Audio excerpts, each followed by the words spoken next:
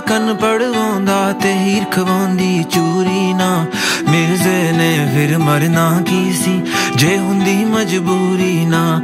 ਕੌਣ ਕਰੇਂਦਾ ਯਾਦ ਸੱਸੀ ਨੂੰ? ਥਲ ਵਿੱਚ ਹੁੰਦੀ ਪੂਰੀ ਨਾ। ਇਸ਼ਕ ਨੇ ਯਾਰੋ ਮਰ ਜਾਣਾ ਸੀ। ਆਸ਼ਕ ਚੜਦੇ ਸੂਲੀ ਨਾ। ਜੇ ਆਸ਼ਕ ਚੜਦੇ ਸੂਲੀ ਨਾ। ਜੇ ਆਸ਼ਕ ਚੜਦੇ ਸੂਲੀ ਨਾ। ਆਸ਼ਕ ਚੜਦੇ ਸੂਲੀ ਨਾ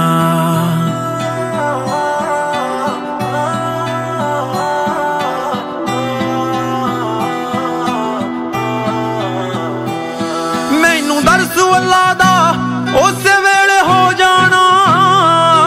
ਮੈਨੂੰ ਦਰਸ ਅੱਲਾ ਦਾ ਉਸੇ ਵੇਲੇ ਹੋ ਜਾਣਾ। ਜਾ ਕੇ ਜਦ ਸਹਿਬਾਂ ਨੂੰ ਮੈਂ ਸੀਨੇ ਕੇ ਜਦ ਸਹਿਬਾਂ ਨੂੰ ਮੈਂ ਸੀਨੇ ਨਾਲ ਲਾਇਆ।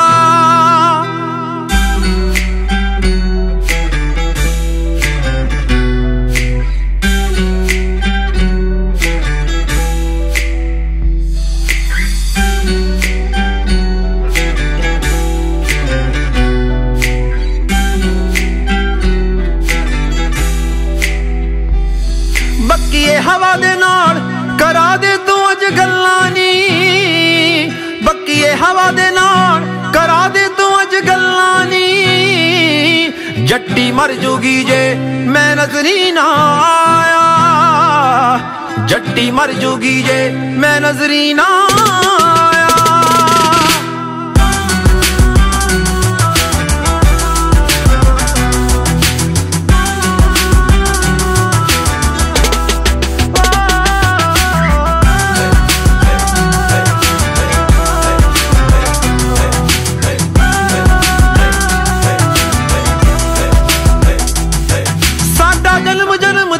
ਸਾਥ ਨਿਭੂਗਾ ਬੱਕੀਏ ਨੀ।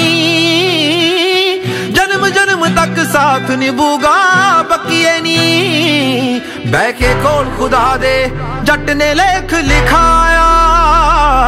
ਬਹਿ ਕੇ ਕੋਲ ਖੁਦਾ ਦੇ, ਜੱਟ ਨੇ ਲੇਖ ਲਿਖਾਇਆ।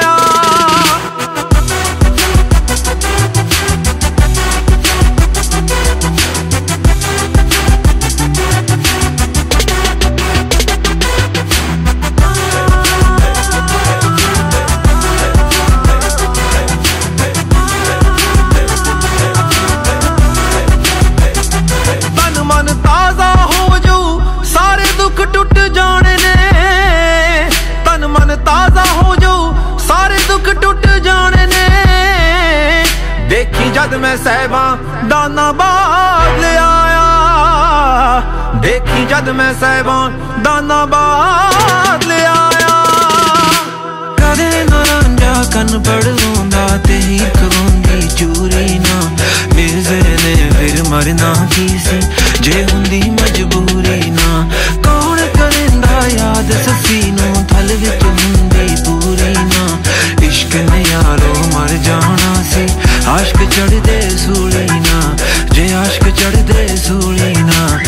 अश्क चढ़दे सूली ना